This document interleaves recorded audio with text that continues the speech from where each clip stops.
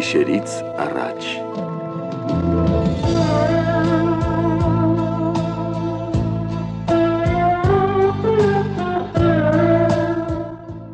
Ծրագիր բոլորի համար։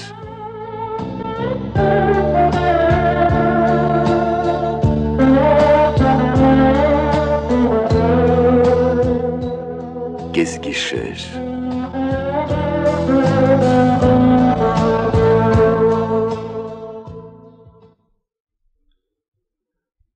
Անմոռաց ձայներ շարքից բեմական դիմանկար Հայ կնոջ կերպարի անզուգական մեկնաբանը օպերային բեմում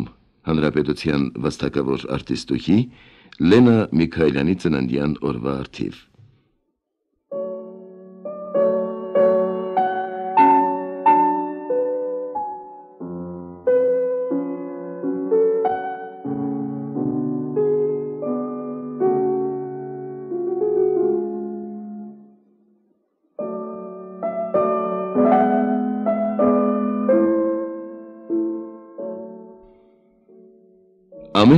աշխարհ է գալիս կրելու իր խաչը։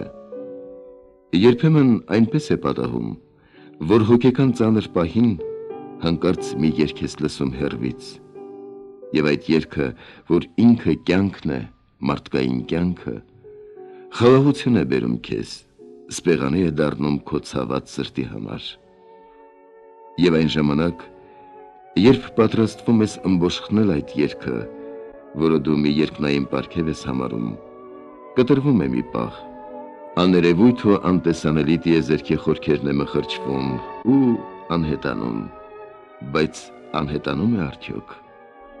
Թեև փոքրաթիվ, բայց եղել են ու կան արվեստագետներ, որոնց կյանքը մեզ համար նման մի երգ է, մի կախարդական մեղեդի, որ հիշողական դաշտի ժամանակի ու տարածության մեջ հարատև է։ Հանրապետության վաստակավոր արտիստուհի Լենա Միքայելյան իսկապես վաստակաշատ կյանքի ամեն վարքյանն իզուր չապրած կյանքային եւ բեմական հարուստ կենսագրությամբ հաճելի նրբազգաց կին մայր տատիկ լավ հայուհի նվիրյալ արվեստագետ Երջանկությունը, երբ մարդիկ սիրում ու գնահատում են այն դժվար տարապալից աշխատանքը, որ ժամանակին դու կատարել ես անտրտունջ ու սիրով, քրիստոնյային վայել նվիրվածությամբ։ Ես շատ ուրախ եմ, որ այսօրվա կեսգիշերից առաջ հաղորդման օրը համընկավ սիրելի երկչուհու ծննդյան օրվա հետ։ Հաճելի զուգադիպություն, երջանիկ պատահականություն, որն իմ կարծիքով ինքնատիպ նվեր է այսօր սիրելի երկչուհուն մեծ արվեստագետին։ 1954 թվական հունիսի 14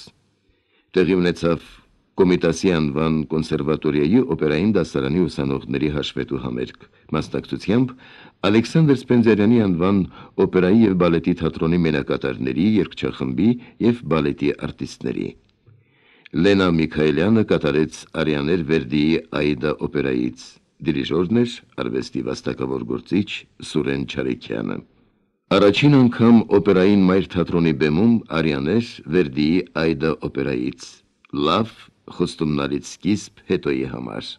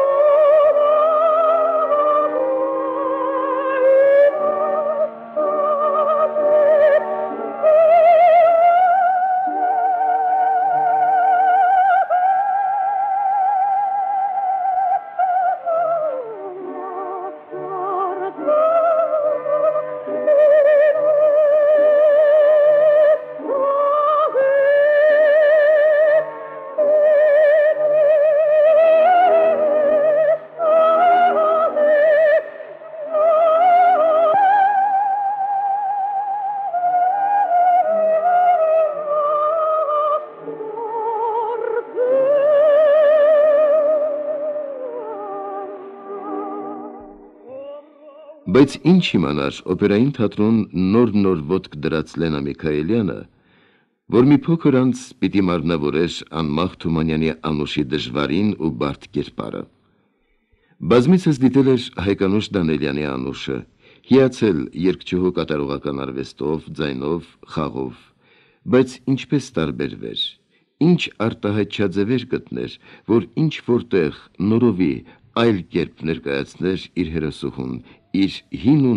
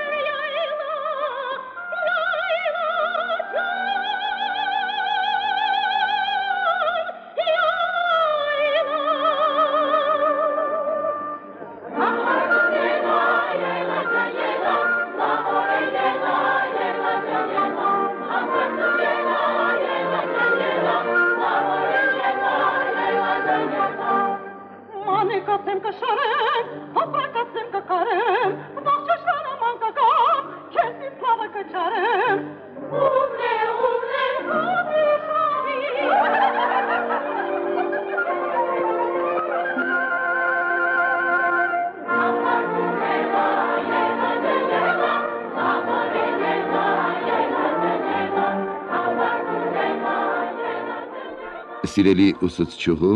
կոնսերվատորիայի պրոֆեսոր Նադեժդա Գրիգորևնա Գարդյանի հետ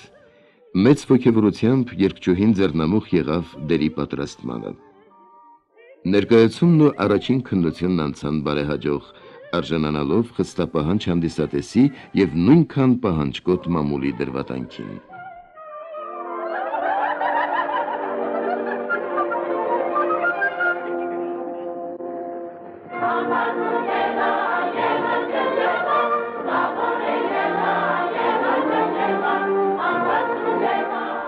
Լենան երջանիկ էր,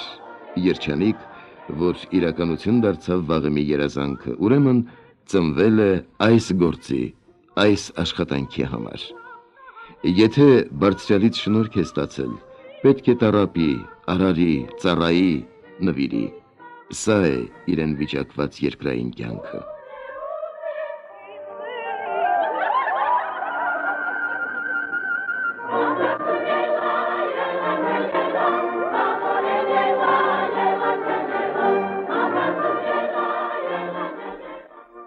Անմախ Թումանյանի անուշի կերպարի մարմնավորմամբ երկչուհին ինքնատիպ իր արվեստով անմահացավ հայ երկարվեստի այնպիսի երևելիների կողքին, ինչպիսիք էին Շարատալյանը, Ավակ Պետրոսյանը, Դավիթ Պողոսյանը, Արշավիր Կարապետյանը, Միհրան Երկաթը, Գոհար Գասպարյանը, Տաթևիկ Սազանդարյանը, Տիգրան Լևոնյանը, անվանի դիրիժորներ Միքայել Թավրիսյանը, Հակոբ Ոսկանյանը, Արամ Քաթանյանը, հանրապետության ժողովրդական արտիստ Արմեն Գուլակյանը, շատ-շատերը։ 50-60-ական թվականները բնորոշ էին գիտության եւ մշակույթի աննախադեպ վերելքով, տաղանդավոր գիտնականների եւ մշակույթի գործիչների հայրանանվեր գործերով, կյանքի տարբեր բնագավառներում նրանց գործոն մասնակցությամբ։ Այս տարիներին էր, որ մեծատաղանդ Արմեն Տիգրանյանի անմահ անուշ օպերան շրջագայեց Հայաստանով մեկ Ստեփանավան, Կիրովական, Ալավերդի, Գորիս, Ղափան, ամենուր։ Ահա թե ինչ է ժամանակին գրել Պղնձի ֆրոնտում թերթը իր 1958 թվականի օգոստոսի 28-ի համարում Անուշը հայրենի լեռնաշխարում վերնագրի ներքո։ Մեր ազգային երաժշտության զարդն է Անուշը Հոգեզմայլ մեղեդիները, ներդաշնակ ու հիասքանչ խմբերքերը, ամբողջ երաժշտությունը սիրելի են ոչ միայն մեզ, այլև օտարազգիներին։ Հանճարեղ Լորեցո Հովանես Թումանյանի անմախ պոեմը իր լիակատար մարմնավորումն է գտել կոմպոզիտոր Արմեն Տիգրանյանի տաղանդի շնորհիվ։ Հմայիչ ու ինքնատիպ է Լենա Միքայելյանի մարմնավորած անուշի կերպարը հնչեղ ձայնը, հաճելի արտաքինը, հարուստ ներքինն ու երաժշտական բարձր ճաշակը նպաստել են շնորհաշատ երկչուհուն կերտել անուշի չքնաղ ու մնայուն կերպարը։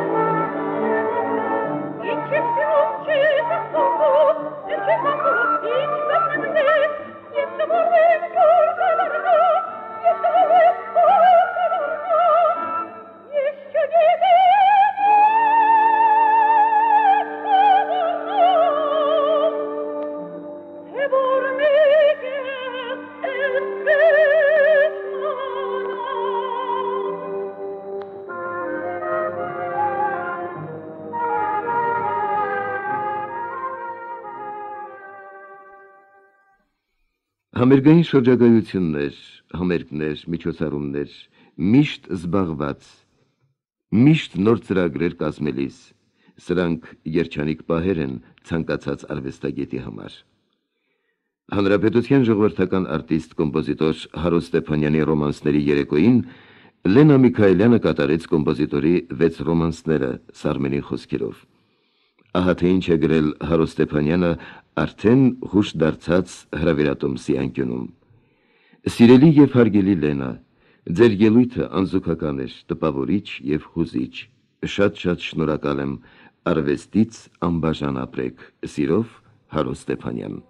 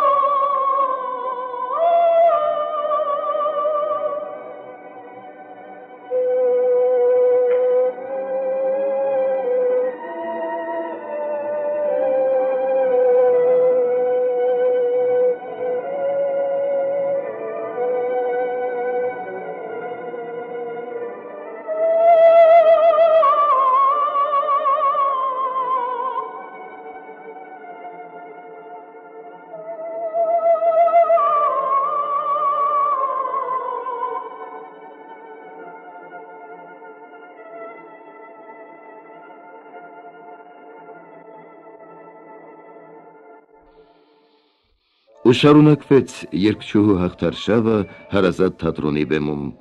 Բազմաժանր ու տարբեր են նրա կերտած կանացի կերպարները, մերթ հուզական ու նուրբ, մերթ ուժեղ ու պորտկումներով լի։ Այդա Վերդիի համանուն օպերայում, Լեոնորա Տրուբադուր, Թամաշ Ռուբինշտեյնի Դև, Ելիզավետա Վագների Տանհոյզեր,